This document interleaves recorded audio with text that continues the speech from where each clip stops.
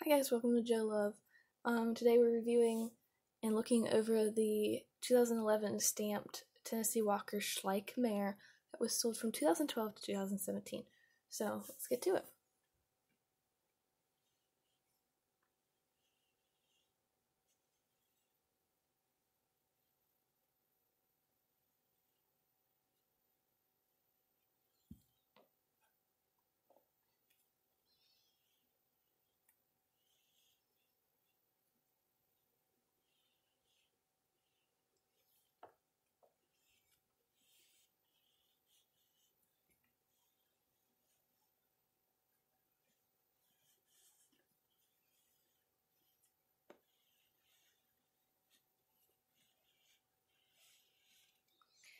So this is the 2011 stamped uh, Schleich Tennessee Walker mare. This is a really pretty mare.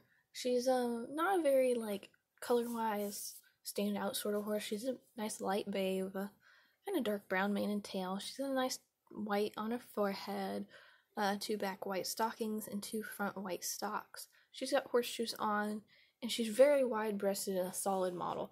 She's conformation wise pretty good. I really like this horse. She's a little thick for a Tennessee Walker horse and not very long legged, but she does have a long back.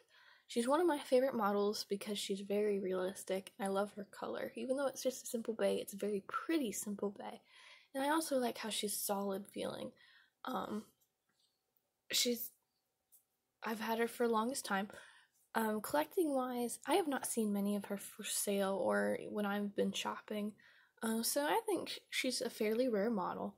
So when you find this one, this is a really good addition to your collection. Really, um, really pretty model. Goes well with the uh, Tennessee Walker yearling from 2011, the same year. Um, and I really think this is a good model to add to your collection. And uh, very pretty very well put together. I would totally rate her as one of my favorite models, um, with barely anything that I would say wrong with her. So, thank you for watching um, my re- my review and my look over of the 2011 stamped Tennessee Walker Mare that was sold from 2012 to 2017. Um, please like, comment, and subscribe below. And thank you for watching my video. See you next time.